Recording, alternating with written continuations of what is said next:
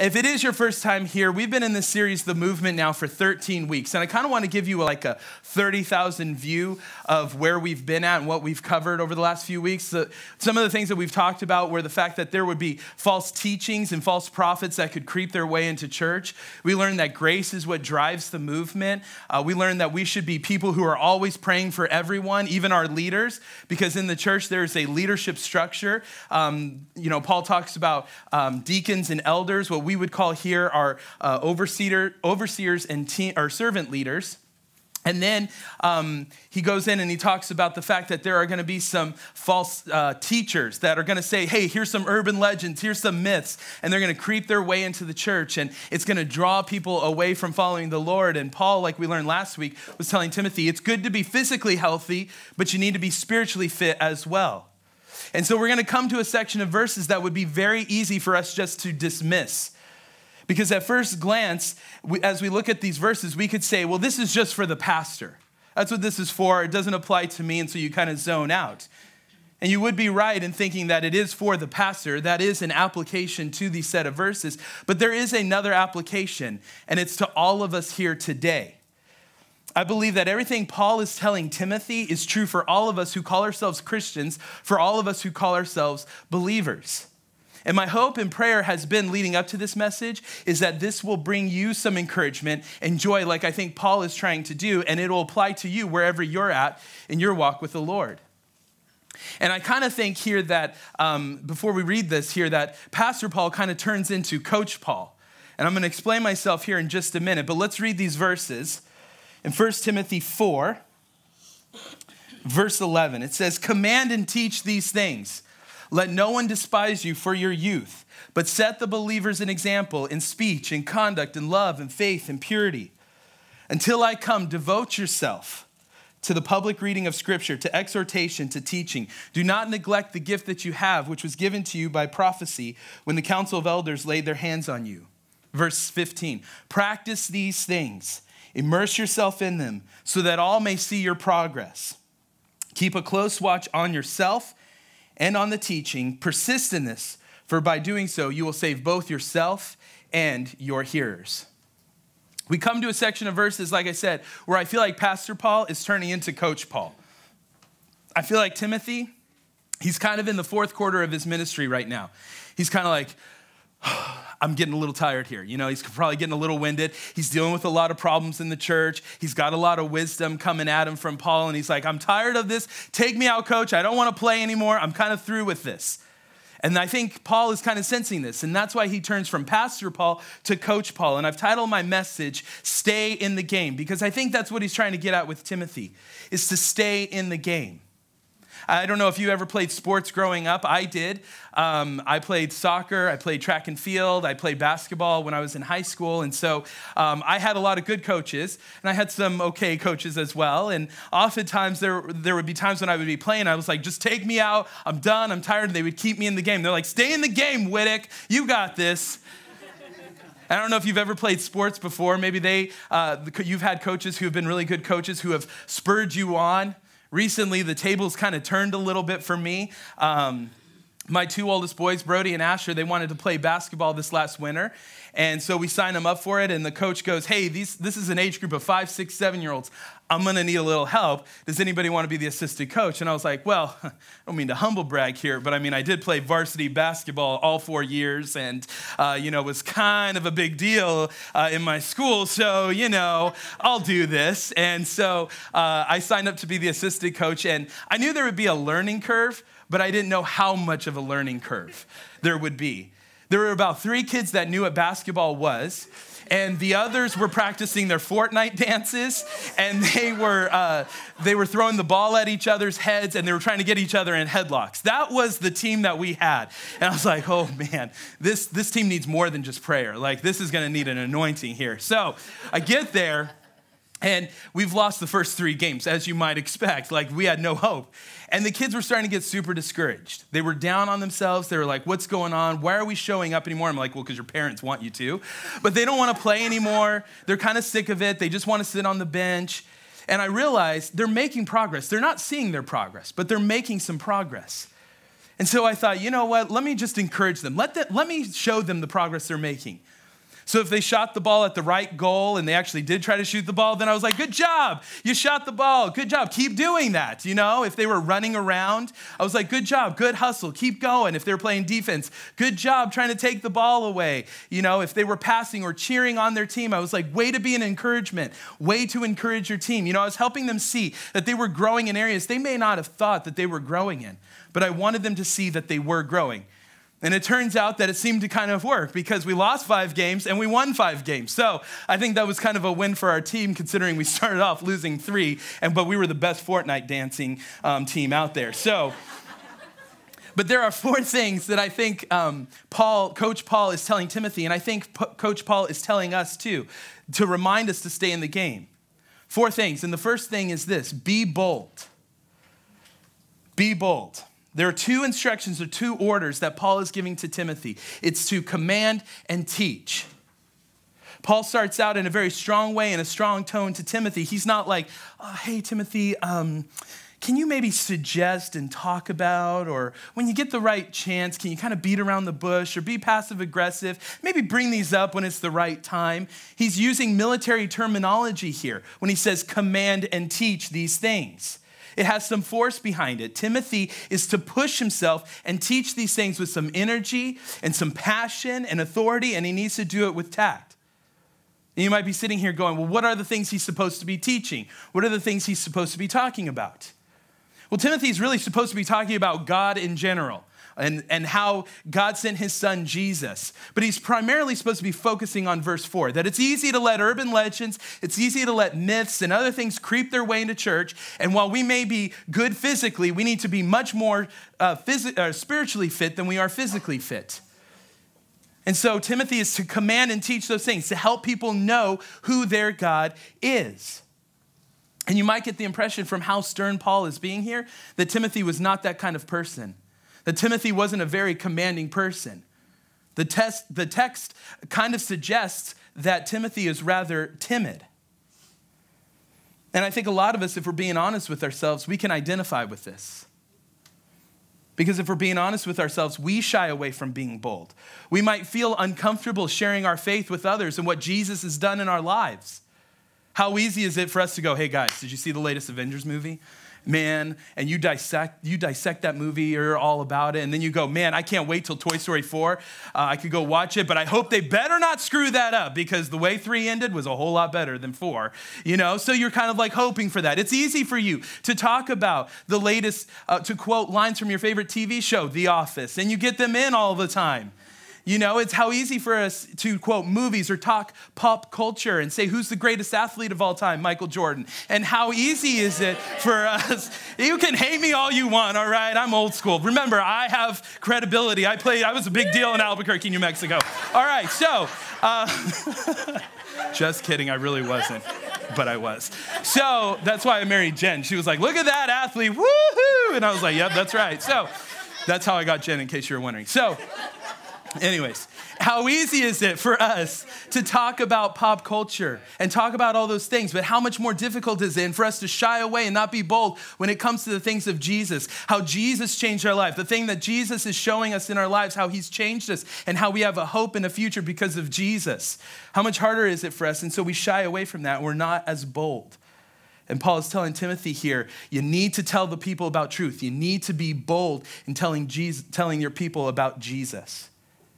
So then Paul goes from kind of commanding Timothy to kind of encouraging him in verse 12. And if you've been around the church for any length of time, you'll know this verse. Or maybe you were in ministry as a kid and this was your life verse, but it goes like this Let no one despise you for your youth.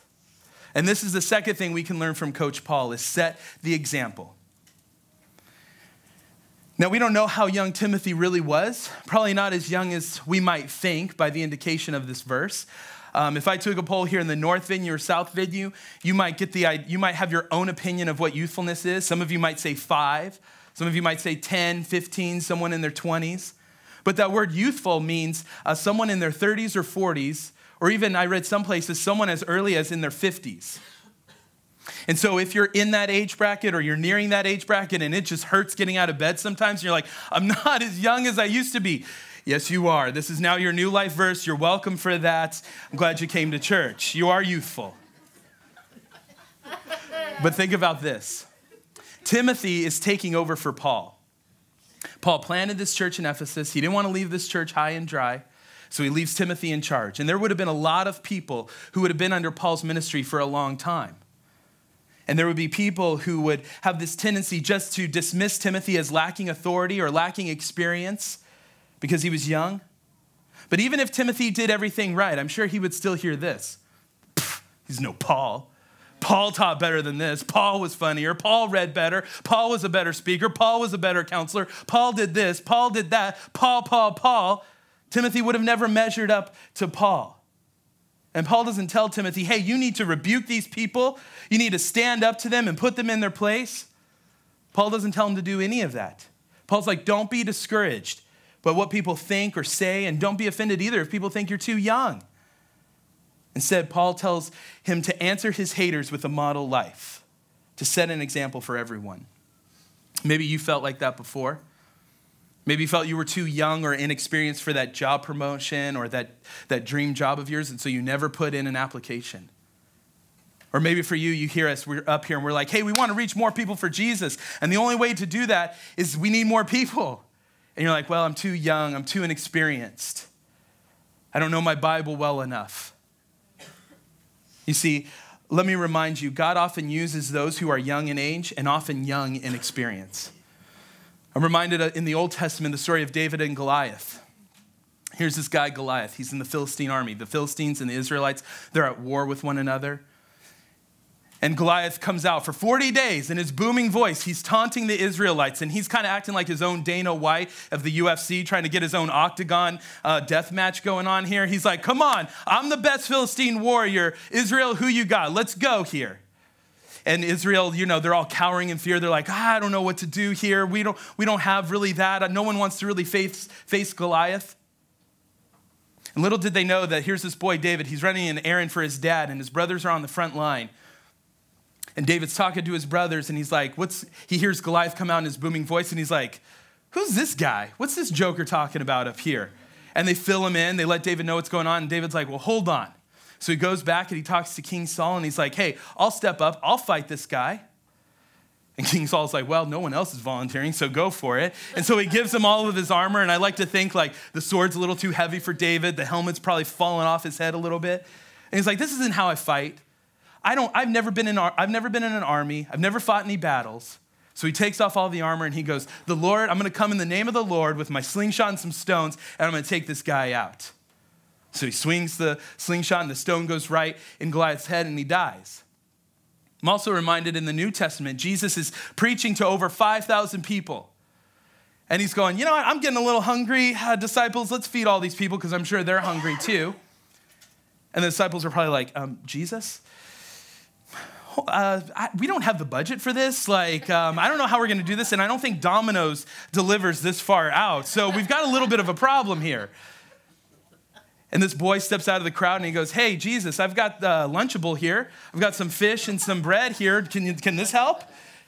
And Jesus takes this kid's fish and bread and he blesses it and he feeds over 5,000 people. And they had so much food that they had baskets of leftovers. The point of those two stories is this sometimes we forget that God can do amazing things with just a little bit to work with. You might think, and look at what you have and go, well, I, all I have is blank. I don't know how God can use this. All I have is a smile. God can use that. He can use that in your workplace. He can use that um, at your house. He can use that in at Awaken as well. We need people on our VIP 10, our social teams. We could need people who could use that gift to bless other people. You might think, well, I'm really kind of tech savvy. I really like to play around with electronics and things. I'm a fast learner. Well, great. Guess what? We could use that here as well.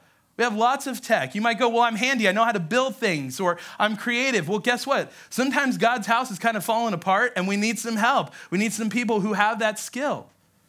God can use that. But I think a lot of times we have all these excuses why we can't be used by the Lord. All David had in his hands was a slingshot and some stones, yet God used it to deliver the Israelites. All this boy had was a Lunchable, and God used it and blessed it to feed thousands of people. God can use whatever you have, no matter how young or inexperienced you feel, and no matter how you view whatever God has given you, He can use it. But I think sometimes we're like Timothy, where we're too young or too inexperienced to be used by God. And I think what Paul's getting at here is he's like, you know what, Timothy? Stop hiding behind the excuses. Stay in the game. Even though you feel young, you need to stay in the game. And Paul could tell him to do that because that's exactly what Paul did. Paul was a man who lived as an example to others. In fact, in Philippians 3:17, Paul says this, "Brothers, join in imitating me and keep your eyes on those who walk according to the example you have in us." Paul's life fit his teaching.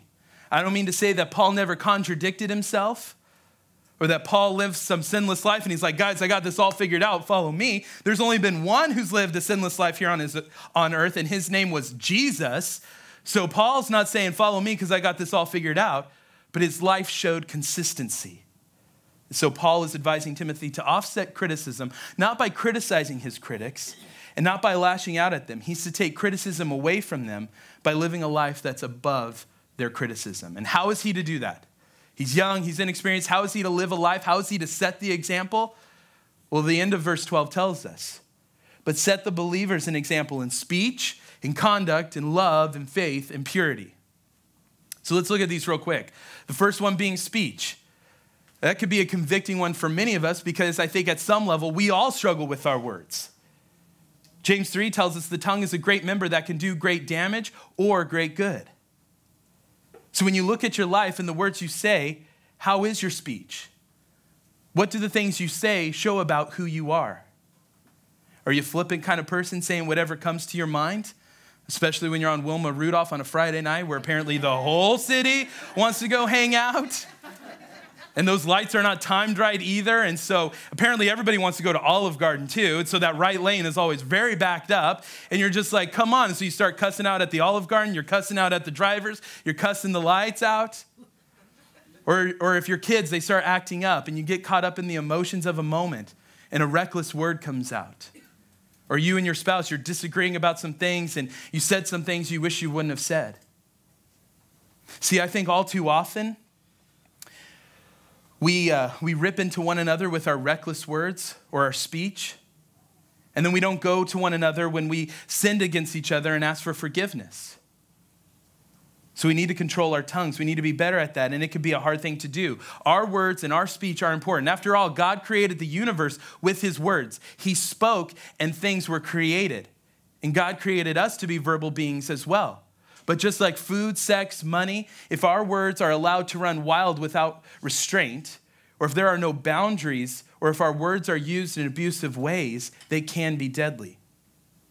So, my challenge to you this week is maybe you need to give some life giving words to someone you know. Maybe your spouse, or uh, your kids, or maybe somebody in your family, maybe a coworker, a friend. Maybe you just need to tell them, I love you, you're the best, I'm proud of you. See, our words and our speech, we need to build people up. We need to, our words and our speech need to be filled with love, joy, kindness, gratefulness, appreciation. So Paul is saying we must set an example in speech. And the next thing is conduct. And this means a matter of life. It's how you live all day, every day. It includes your actions at church, in the grocery store, in your neighborhood, school, work, wherever you live, everywhere you live, everywhere you go. Our conduct is our behavior in every situation of life. That means that our everyday actions need to match up to God's word. How do we know this? Well, James 1:23 tells us, "Be doers of the word, not hearers only." So we shouldn't be reading our Bibles throughout the week or coming to church on a Sunday, opening them up, learning how we should live our lives in light of the Bible and then go on Riverside Drive and act the fool. We need to be applying the things of God's word in our lives. Paul is telling us that the way we live and all of our actions matter. We need to be disciplined and careful with what we do, where we go, and what we say. And the third thing Paul hits on is love. That Timothy is to be a man of love. We are to be people of love. Love is a concept promoted by Christians, Jews, Muslims, uh, Buddhists, agnostics, atheists. Love is something everybody wants to get every single day. Love is something we all know about and we all desire, but so often love is the hardest thing for us to practice. If I were to ask you, how are you at showing love for others, what would you say? Are you seeking the best for others, or are you only looking out for numero uno, just yourself? Paul is coaching us here to have love for others. And as Christians, we are to be known for our love. In fact, Jesus said this in John 13 35. By this, everyone will know that you are my disciples if you have love for one another. But often, when the world hears the word Christian, I don't think they think of the word love. I think when the world hears the word Christian, they may think patriotic, they may think rule follower, they may, they may think of somebody who uh, is a stingy or bad tipper on a Sunday after church. They might think of somebody who blindly votes Republican. They might think of somebody who will judge you if you say a four letter word or you drink a beer. But I don't think when the world hears the word Christian, they think of the word love. And that might not be fair to say because that might not be you. And you won't be able to change what the whole world thinks about Christians when they hear that word Christians, but you can change what people and influence what people around you think of when they hear the word Christians. We have to understand that it's our responsibility to demonstrate the love that was first shown to us, that while we were still sinners, Christ died for us.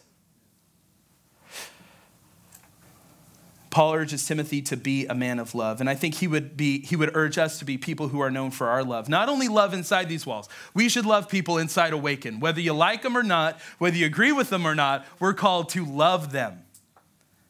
But we're also called to love people outside these walls as well.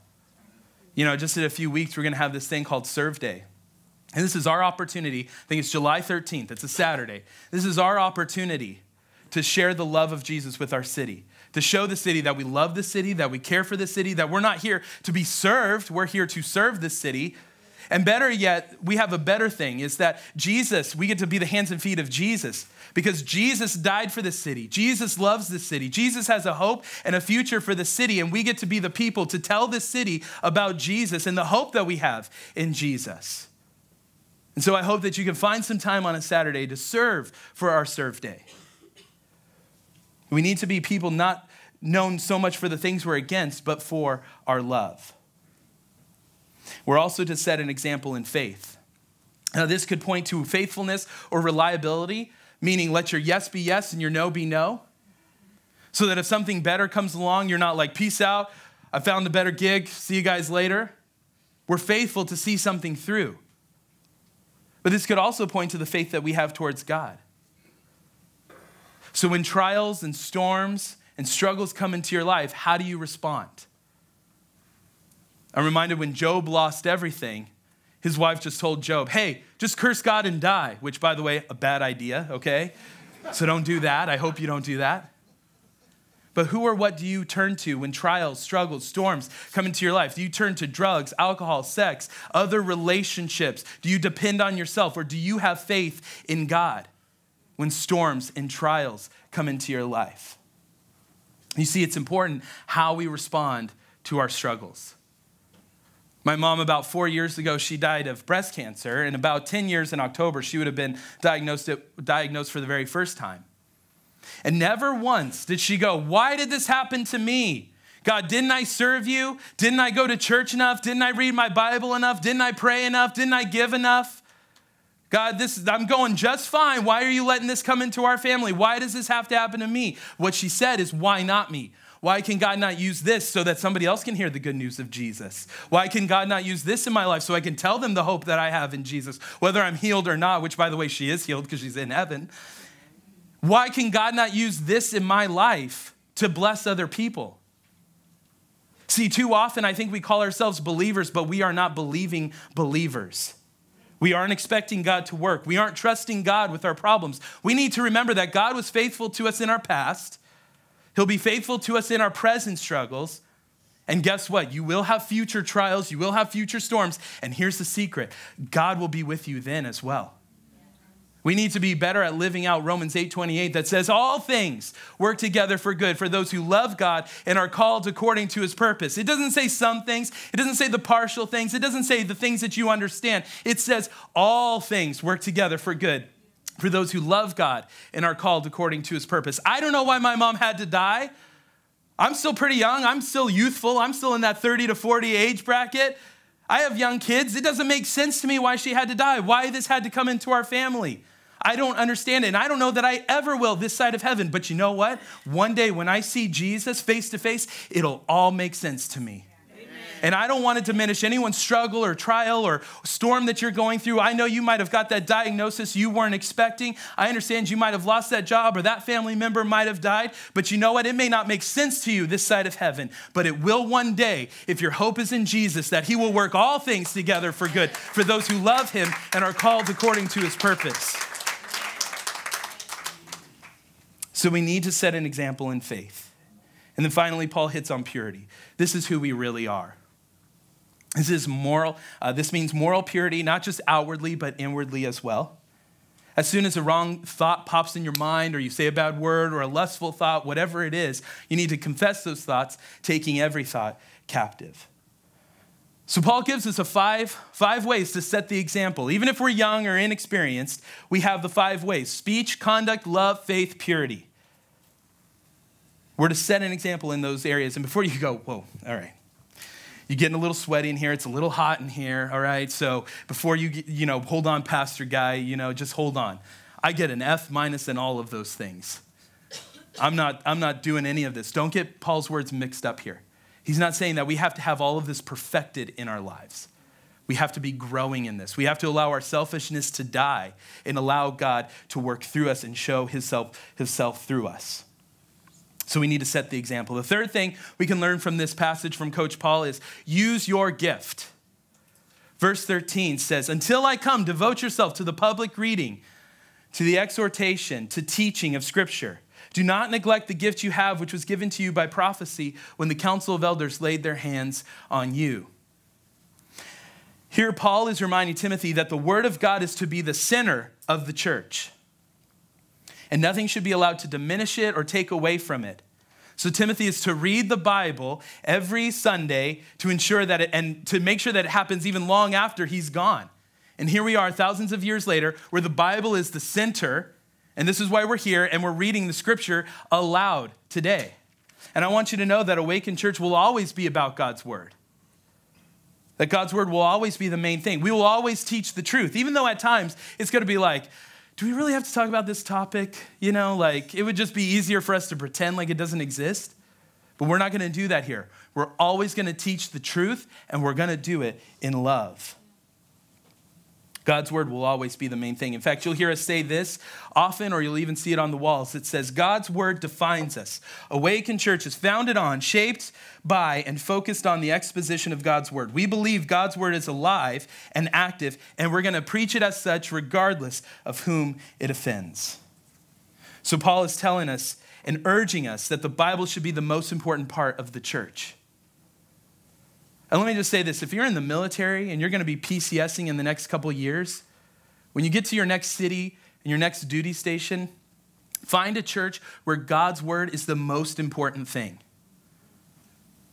Because if you find a church where God's word is the most important thing, that's going to be a healthy and thriving church.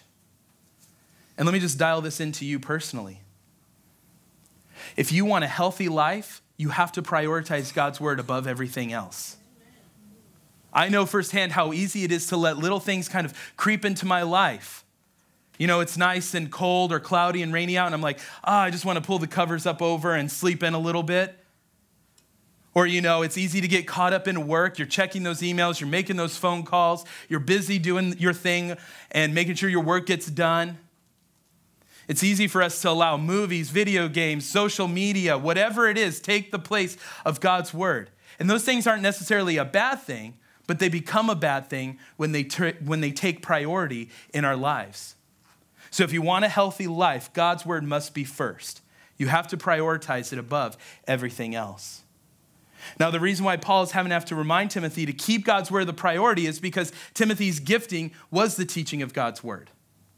That's why in verse 14 he says, Don't neglect the gift that you have. Timothy was evidently feeling somewhat unsure of himself and calling and the calling and gifting that God had given him. And maybe you felt the same way. Maybe you felt unsure of the calling and the gifting that God has given you. Maybe you felt overwhelmed with the gift that God has given you. You're like, I don't even know how to use this. I don't even know what to do with this gift. Let me remind you that Timothy was not being asked to take on a huge task in his own strength. You haven't been asked to take on a huge task in your own strength either. Timothy had a gift, you have a gift. And you have been equipped by God to do what he has asked you to do. So, Paul is reminding us that it's our responsibility to use the gift that God has given us. I think Jesus said it best in the parable of the talents in Matthew chapter 25.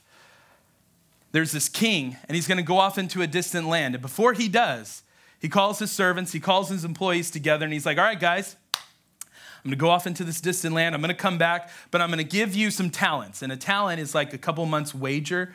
And so we're talking like in today's money, like millions of dollars that he's going to give to his employees. And you're like, I wish that was true now. But he tells them, hey, invest this money, use this money. And when I come back, I'm going to go away, I'm going to come back. I want to get a good return on investment on that. And so the king goes off into this faraway land, and the servants go and they start investing the money. The king comes back and he's like, All right, boys, what do we got? What's the return on investment? And the first two, they get a good return on investment. He's like, Well done, good and faithful servant. Let's celebrate. And he rewards them. The third one, he looks at him and he's like, All right, so what's the return on investment? And the guy's like, Well, you know what, king? I, I was afraid of the stock market over here. It's a little up and down. I didn't want to invest in anything bad or evil or anything like that. So this is what I did. I buried it here, and he pulls it out of the ground, and he's like, Here it is, just how you gave it to me. And the king looks at him and he calls him wicked. And here's the point to that story the king in the story is Jesus. We are the servants. And there's and Jesus has gone into heaven, a faraway land, and one day he's coming back for us. But he's given us all a gift and he wants a good return on his investment. And we want to be like the first two servants, where we give a, a, a, good return on investment to Jesus with the gift that he's given us. We don't want to be like the third one, where Jesus would call us wicked. And you might think, well, that seems a little harsh. I don't know that Jesus would call me wicked. It's not so much that he did a bad thing, it was he didn't do the right thing with the good thing that God had given him. We need to do the right thing with the good thing that God has given us. The temptation for many of us here is to bury the gift, pretend like it doesn't exist, and not use it for whatever reason. But we need to step into the gift. We need to step into our calling that God has given us. If you don't know what your gift is, ask the one who gave the gift. He'll tell you. If you need more confirmation, come talk to a pastor, an overseer, uh, a servant leader. Go to our Connect Center. We would love to connect you and help you find the gift that God has given you so you can get a good return on investment. So don't neglect the gift you have. Use what God has given you. And the final thing, and we're told by Coach Paul, is keep our eyes on the prize. He sort of summarizes all that he's been talking about in verses 11 through 14 in this one verse verse 15, when he says this Practice these things, immerse yourself in them, so that all may see your progress. Paul's concluding everything by saying, Care about all these things we've just talked about. Care about setting an example in speech and conduct and love and faith and purity. Care about reading your Bibles. Care about serving other people. Care about all these things and give yourself fully to these things. When Paul says practice, it means to keep going, to keep working. Paul knows life's gonna get hard. You're gonna wanna quit, but you gotta maintain momentum. You gotta maintain energy. You can't start and stop and start and stop and start and stop like a six year old trying to learn clutch for the very first time. You gotta get a little rhythm in your spiritual life. And the way you get there is you have to be diligent. If you want to grow spiritually, you have to be consistent. You have to be diligent in caring about the things of God. We have to continue making forward progress. So look at your Christian life, examine it. Are you moving forward? Are you standing still? Because you shouldn't be standing still. If you're a Christian, you shouldn't be standing still. Are you doing the moonwalk, kind of walking backwards? Because you shouldn't be doing that either. You should be making forward progress. You need to be practicing all of these things, caring about all of these things, giving yourself all of to, to these things, and keep practicing it and working it so you can continue to make forward progress. And why is this so important? Verse 16 tells us keep a close watch on yourself and on the teaching. Persist in this, for by doing so, you will save both yourself and your hearers. Now, it's easy to get this verse confused at first glance because at first glance we might be looking at that going, wait, is this saying like Timothy's the one who does the saving? Timothy is not the one who does the saving. Paul's not the one who does the saving. I don't do the saving. You don't do the saving. There's only one who does the saving, and his name is Jesus. Jesus came from heaven to earth to die on a cross, to shed his blood, to break his body for our sins. He paid the price for our sins. He was buried in a tomb, but he rose again three days later, and he's in heaven. And one day we're going to see him face to face. So Jesus is the one who does the saving. The other way to get this mixed up is to go, well, is this saying that we're saved by works? Ephesians 2 tells us that we're saved by grace through faith, not from works. So it's not those things. What Paul is getting at here, and this is the point of this verse, is there is a future aspect to our salvation. That as we who are saved persevere, as we who call ourselves Christians persist and practice these things, we will influence others to be saved meaning that God will use you and your life and your story and your testimony to influence others and to share the hope that you have to people who are lost and headed for hell. So we need to keep practicing and persevering in our walk with the Lord because eternity is at stake. When life gets hard, don't give up, keep going. And if I could be honest for just a minute, there are times when I persevere when I would rather quit. There are times when I'm like, man, it would be so much easier to go do something else. I don't want to keep doing this anymore. Let's wrap it up. It's been fun, it's been real. But you know what I'm learning as we're going through 1 Timothy? That it's not just about me, it's not just about you, it's not just about him, it's not just about her. It's about all of us. We're in this thing together. We're a family, we're a church, we're the body of Christ. And if we want to see our friends and our family and our city changed and loving Jesus, then we need to persevere. Remember, there is a finish line in our race where we'll hear the words every Christian wants to hear Well done, good and faithful servant. Now enter into your rest. We all want to hear that. So let's do what Coach Paul is telling us to do. Let's stay in the game. Let's be bold, know who our God is. Let's set an example in speech and conduct and love and faith and purity, no matter how young or inexperienced you feel. Let's read our Bibles. Let's use the gifts that God has given us. And let's keep our eyes on the prize, knowing that eternity is at stake. And if we practice these things, if we persevere together, you know what's going to happen? God's going to do amazing things in our church and through us, and we're going to see people's lives changed. So let's persevere together and conquer the city for Jesus. Amen.